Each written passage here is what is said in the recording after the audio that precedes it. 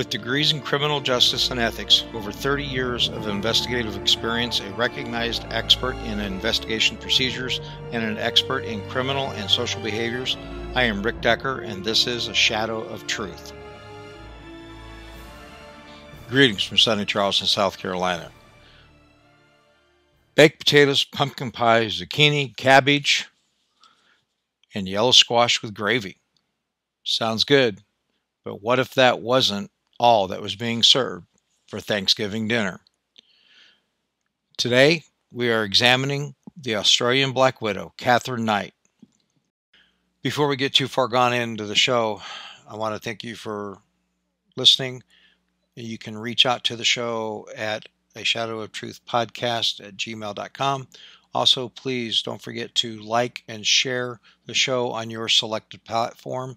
So let's get back into what we were talking about. The thing that we're talking about with um, Miss Knight wasn't really surrounded around Thanksgiving dinner, but the way that she acted and what she did, I thought, with my off sense of humor, how appropriate. Katherine was a unique killer, and I thought extra gruesome to profile her for American Thanksgiving tradition would be kind of like I said, an offset to my humor. Katherine was a product of an illicit affair. In fact, she she was a twin. I have maintained over the years that killers, serial killers, and other types are all product of an environment that has triggered a biological reaction causing deviant behaviors. Katherine is no different, but her crime was extreme to say the least. Katherine was born to Barbara Roughan and her boyfriend Ken Knight. The family dynamic was complicated. Barbara had children with her legitimate husband, Jack Roughan, four of them, in fact, and this affair split not only the the children, but the entire family and the town. The two families were well known and the affair spread like wildfire. So it was an embarrassment for all the proper individuals involved, per se. Other than her twin, Katherine was only close to one other individual, and this was her uncle, Oscar Knight. Now, he passed away in 1969 because of suicide, but Miss Knight claimed that his ghost visited her frequently. And now this relationship with the uncle will prove later on to be probably the most solid relationship that she ever had in her life. Katherine's father, Ken Knight, was a known alcoholic. He was also known, well known, in fact, for his violent tendencies. Plus, he had a habit of using intimidation to get his way. And Ken, after the affair ended and married Barbara, wasn't really kind to her. It had been reported that he raped Barbara up to 10 times a day. And now, Barbara herself, uh, she was a piece of work, to say the least. She complained to her daughters about how she hated sex and how she hated men.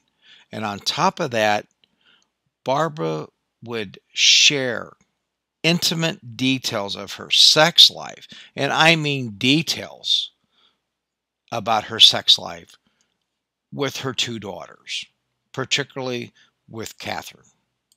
Now, one would think that a mother of two young girls who had been raped and beaten frequently would have made some attempt to protect her offspring. Uh, on the contrary, Katherine one time told her mom that one of her partners, and it probably and it most likely turned out to be a um, a male family member, wanted to have sex with her, and good old mom just told her to suck it up, shut up, stop complaining.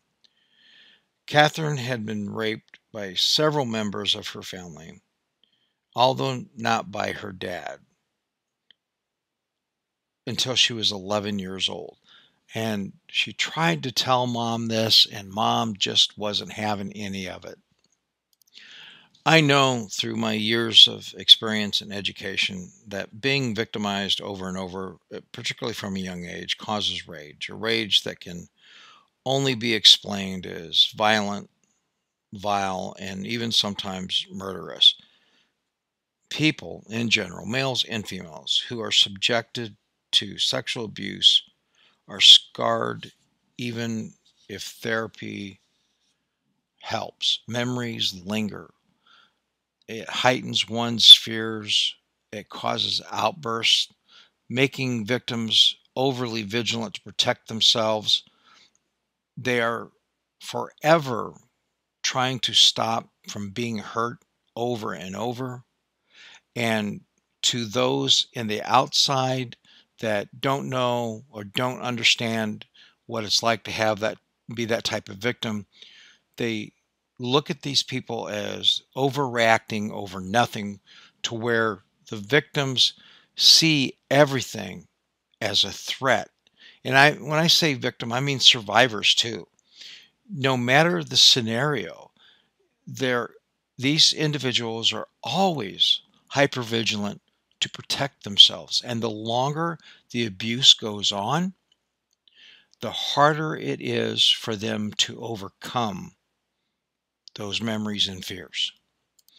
And Katherine had a lifetime of this abuse. Now, I want to go off track a little bit. And if you haven't gathered with my shows by now, it's not just about people who kill, it's about raising awareness awareness of what causes behaviors, what causes the dehumanization of these individuals because they are human and things have happened to them. We try to find a way to explain why they have come to be where they where they are and become the people that commit these deviant deeds. When you strip away the acts of cannibalism, murder, torture, you find an individual with real psychological stress and issues that cause biological triggers that create dysfunction. Okay, back to Miss Knight. Anyway, she was abused sexually and, and physically. She was shunned and she was a product of an affair. The family history has shown that even some of her half siblings have had run ins with the law, but our focus today is not on her siblings or the total dynamics of her family. It just the dynamics in part. And we want to look at Mary Katherine. All the trauma that she had experienced, as one might imagine, can affect one's behavior and mental growth over time. It is reported that at school, Katherine acted odd over small incidents, incidents that would not really matter to the individual that had not been victimized, but it see, appeared to have caused her to develop dual personalities. They noticed in school that she was not of one type of personality, that she changed with her environment. And when the change happened, she was horrifically angry. And then, as soon as the incident passed, she returned back to what they called normal. Katherine was struggling in school. In fact, she couldn't even read or write and she left school at the age of 15 years old. Now, with that, even though she didn't finish school and she couldn't read or write, she was able to gain employment. She worked in a factory cutting clothing. She later went to work in a slaughterhouse as a deboner, um, helping fillet the meat and separate the bones and the muscles. And in fact, in that position, she was doing so well, they gave her a set of her own butcher knives. Now, Katherine took these tools of her trade home and hung them up over her bed. In fact, she had said once that if I need them, I'll have them. That's why I put them above my my bed, which isn't really unusual until you put it into context Eh, her willingness to fight at a moment's notice and become violent. And she was known for fighting in bars. And she was also known being very skilled with those knives and using them as a threat against others, even if it wasn't in an effort to protect herself. she would pull them when she felt threatened. So Katherine hooked up with a coworker named uh, David Kellett. We say, and it's a common saying, and that people are either marry or attracted to the type of dysfunction that we grow up with. And Miss Katherine was no different. David was a drinker, but he wasn't a skilled fight, fighter. She beat his ass regularly. Um, many times they were in fights in bars, and he lost each and every time. In fact, on their wedding day, Katherine's mom, Barbara, told David, You need to watch out for this one, or she'll kill you if you mess around with her. I, I don't know about you, but if my mother in law or anyone else would have said that kind of crap to me on my wedding day, I don't care how big and bad you think you are. With somebody like Katherine, you run like hell. I'm sure any sober individual in this world would if they heard something like that on their wedding day. Well, David, uh, David wasn't that smart. He didn't listen. See, Katherine's behavior was just laying dormant, uh, her violent tendencies, until after she married David, because on their wedding night, she strangled or attempted to strangle David because he fell asleep after only having sex with her three times and wouldn't wake up. She got so mad at him at while they were married that when David came home late from a dart game, she was furious. So she decided she was going to slam a frying pan into the back of his head. Now, David, luckily, you know, he got away with just a skull fracture. And when police arrived, Katherine was so skillful.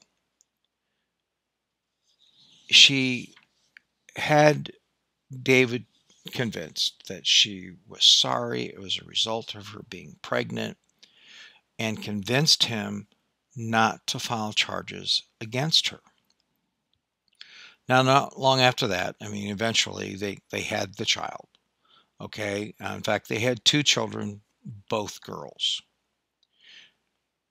And Katherine, the, she was getting attention after the birth of their first daughter, um, who was Melissa. And um, Katherine became enraged at David and took the stroller with Melissa in it, slamming it around up and down onto the concrete in public, and then eventually went and placed Melissa on the railway and left her. Fortunately for Melissa, a townsman, um, found her laying on the tracks moments before the train would have run her over. Katherine was arrested and placed in a mental hospital overnight. She was able to sign herself out, and they cited postpartum depression as the rationale for her behavior. One would think that after that, violence would have curtailed or, or stopped, but no, it escalated.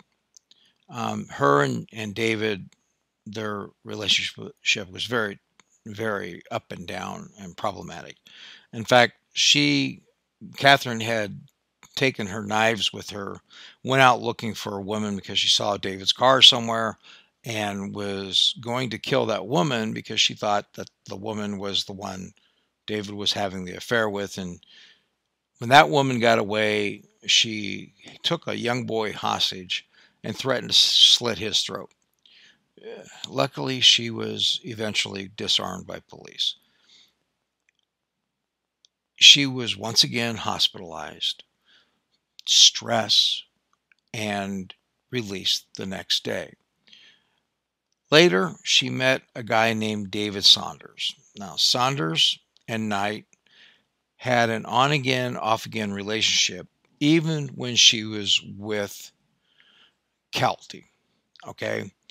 And Knight and Saunders, they also had a child together, Sarah.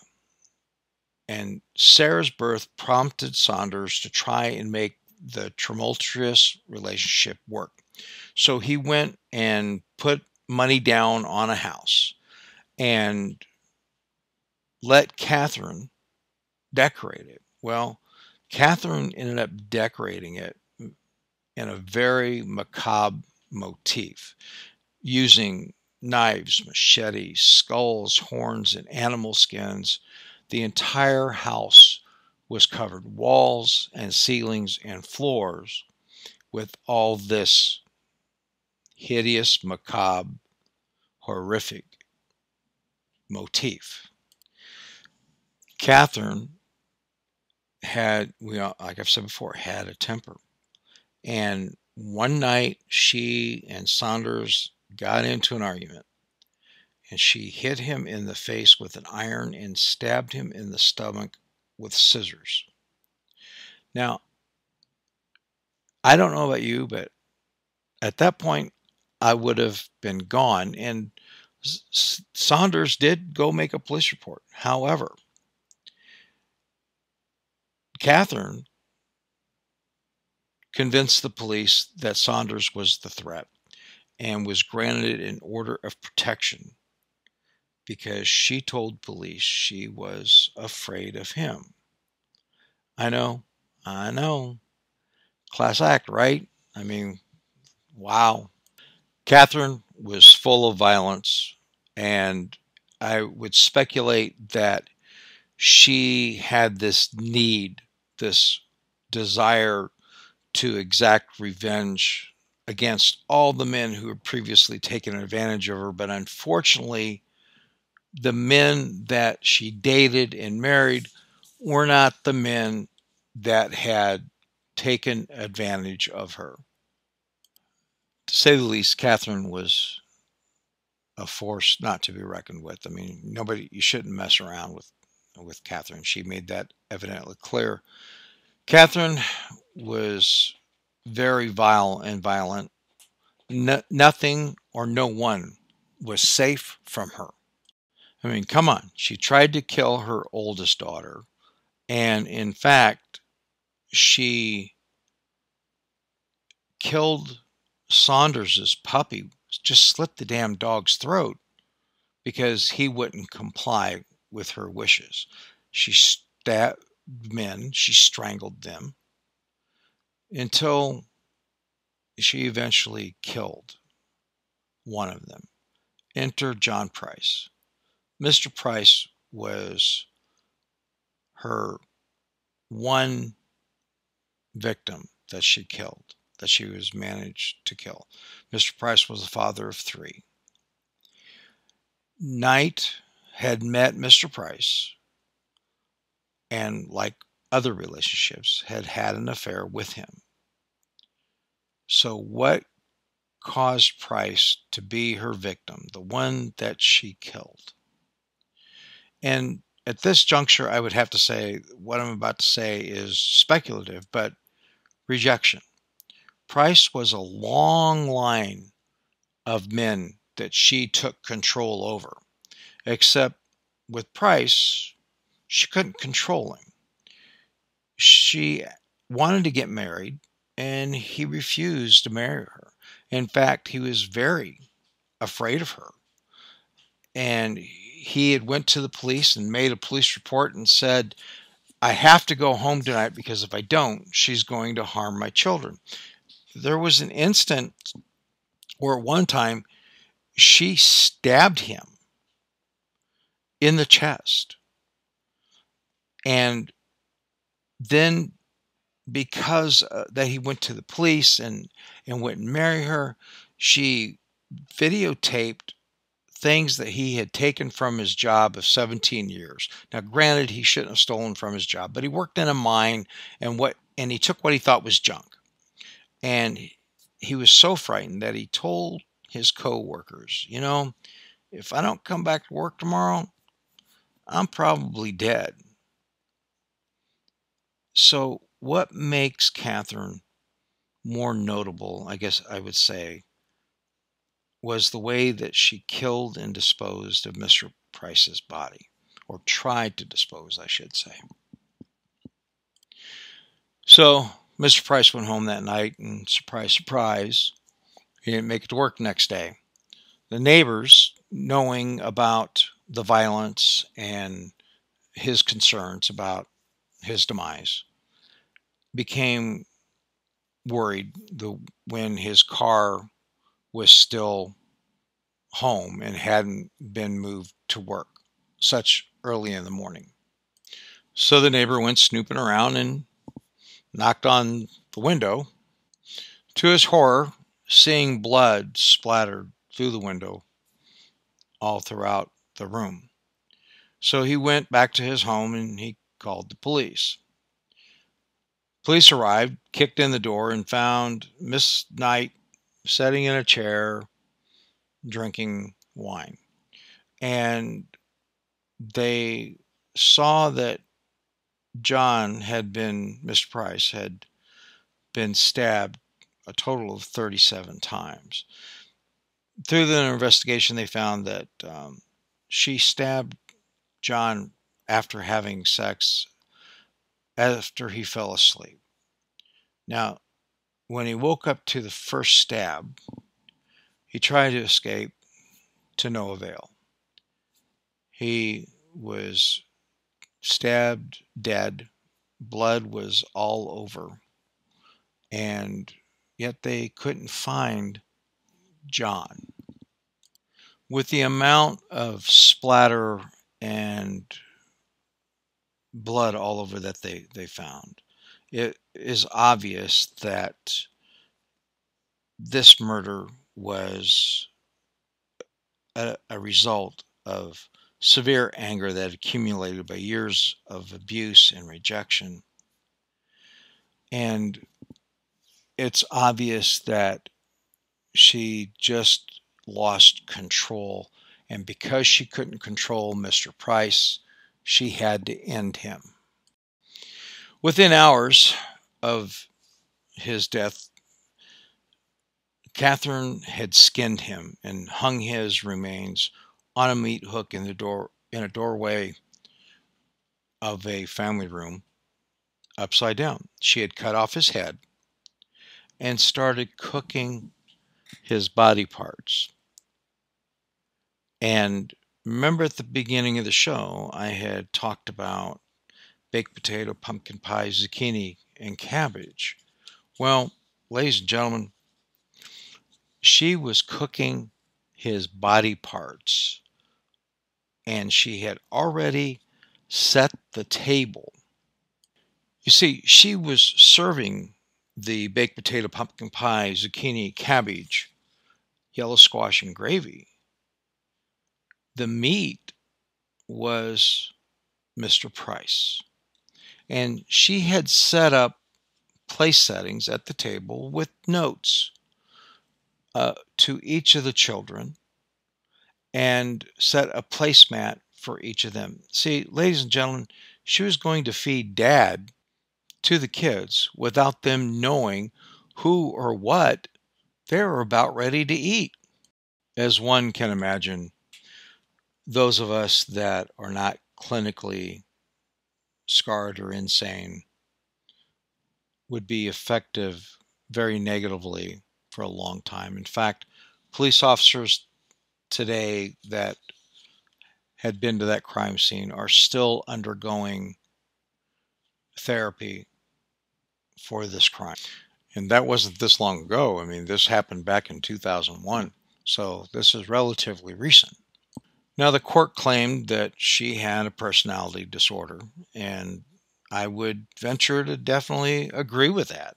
And I would also say that she was malignant, vindictive, narcissistic tendencies, although not a serial killer per se. I believe she followed some of the typologies. She was motivated by revenge. She was a disorganized killer, and I believe that's why she failed to kill the other men. She struggled in relationships just like most disorganized killers do. And but yet she was stabilized in the selection of her victims and her methodology. Now, we could speculate all day long about the cannibalism and, you know, cooking and feeding to other people, her beloved husband, but she never really killed anybody else other than a puppy. I mean, the murder that uh, she tried to kill her daughter, so that's just an attempted murder. And yes, she may have tried to kill the other men, but the only one she really did kill was Mr. Price.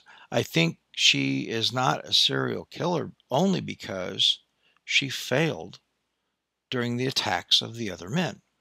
She was a hedonistic killer. She killed out of personal gratification, craving domination over men. She killed to obtain power. This was obvious. She killed an animal and attempted to kill her daughter because she had poor coping skills. She couldn't cope with rejection, and when she got mad at one thing, she got mad at everything. The most horrifying about Miss Knight is that she tried to dispose of Mr. Price by feeding his remains unknowingly to family. Now, that in of itself is not that horrific. I mean, we've seen it before. Um, Pee Wee Gaskin, hell, he fed some of his victims to living captors who he intended to kill and eat anyway. He just didn't come up with the idea, as far as we know, to feed his victims' remains to their families. The mind is a delicate thing. I mean, our organic computer can only process so much stress before it malfunctions. We are affected by those around us, and our experiences determine the outcomes of our lives. You know, at any given time, ladies and gentlemen, we're but a sliver away from our own demise, and it's only by the grace of a higher power and circumstances that we continue to be here another day. So, on this eve of the holidays coming for everybody around the world, embrace today and those around you because we never know when the end is near, quite literally. It is our responsibility to uplift and not destroy each other. And at some point, we will all face the Reaper. And I tell you now, when I leave this world, I want to be remembered as a wide brushstroke and not as a point of a number two pencil. Take care of one another. Enjoy your holiday. Carpe diem.